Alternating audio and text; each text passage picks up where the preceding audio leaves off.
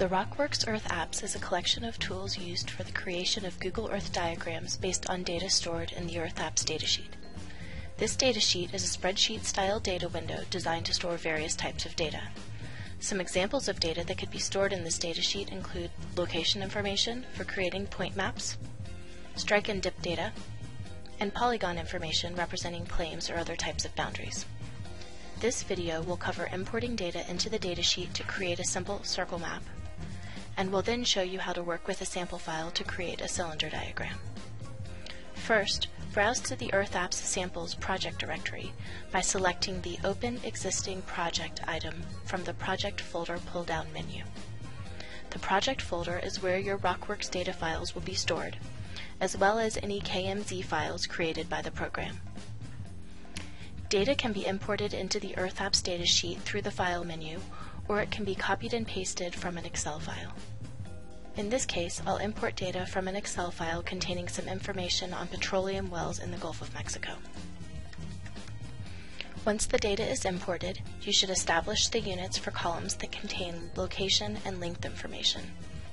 To do this, right-click on the column titles to open the Column Parameters dialog box.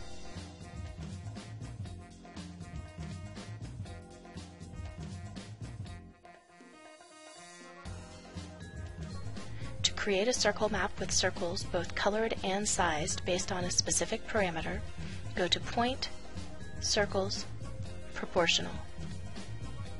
In the resulting window, you'll see a place to specify input columns on the far left, a list of menu options to the right of that, and an instruction panel on the far right.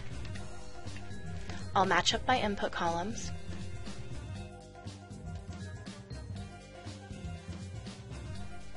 Make some adjustments to the menu options and click on the Process button. Google Earth should appear and display the circles. If you'd like to make a change to the diagram, then you should return to the Rockworks program, make the adjustments in the menu, and click on the Process button again.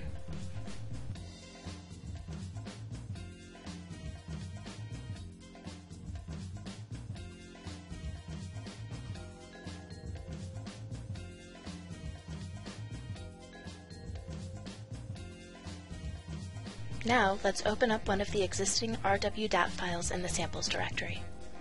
To do this, expand the Project Manager on the left side of the window and view the list of data files stored within the project folder.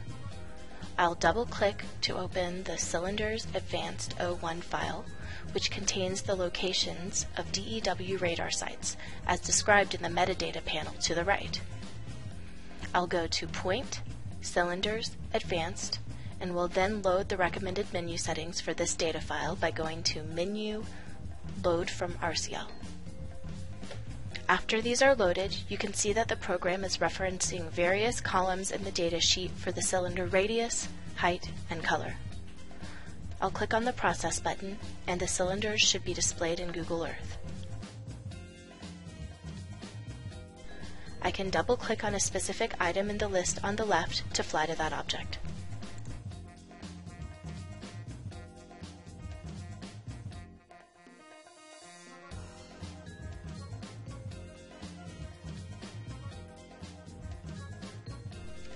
Thanks for watching. Stay tuned for more Earth Apps videos covering this exciting new feature in Rockworks 16.